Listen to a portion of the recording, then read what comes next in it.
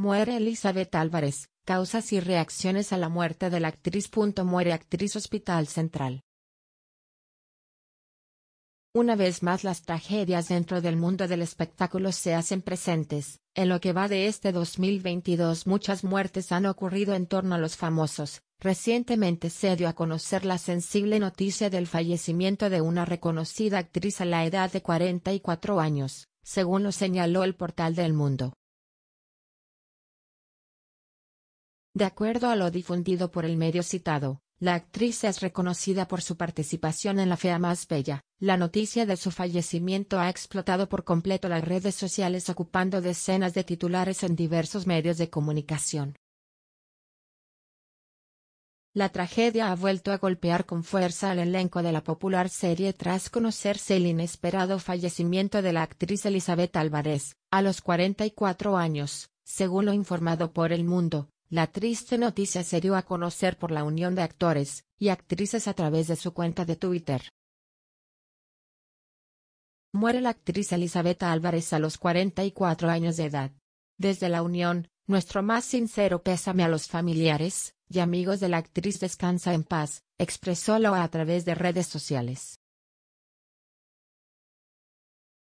Punto colegas lamentan la muerte del artista. Punto las muestras de mensajes de despedidas por parte de sus colegas no se hicieron esperar, pues su compañero Eduardo Yáñez escribió, hoy, más que nunca, estarás en el teatro conmigo, con nosotros.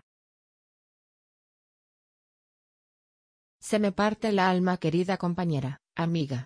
Voy a echar mucho de menos hacerte mis confesiones y debatir sobre nuestro oficio. Qué cabrona e injusta es esta vida a veces. Descansa en paz. Qué horrible y qué pena. Elizabeth Álvarez era encantadora y desprendía un magnetismo especial.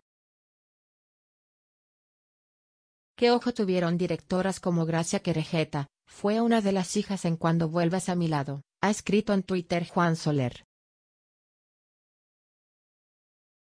Punto su nombre de nacimiento es Elizabeth Álvarez Ronquillo, Pasó sus primeros años en Ciudad Juárez, México. Se casó con el actor de telenovelas Jorge Salinas. Famosa por su papel en La Fea Más Bella, que le valió ser galardonada con el premio Novelas, y por su papel como Sonia Vázquez en la telenovela de Televisa Las Vías del Amor, que le valió un premio El Heraldo de México. Además, fue la protagonista de la telenovela Fuego en la Sangre. Fabiola Guajardo versus Elizabeth Álvarez, son las villanas más ardientes, estas fotos lo comprueban. Las estrellas de televisión compiten por ser las villanas más ardientes en el mundo de la farándula, aquí las pruebas.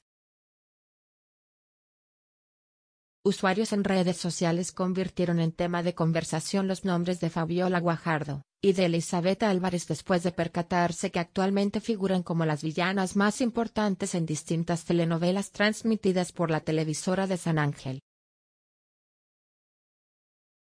Punto a pesar de que existe una marcada diferencia de edades entre las actrices, los fans del espectáculo aseguraron que las dos compiten por ser consideradas las villanas más guapas en la industria de las telenovelas ya que en sus colaboraciones lucen de manera espectacular.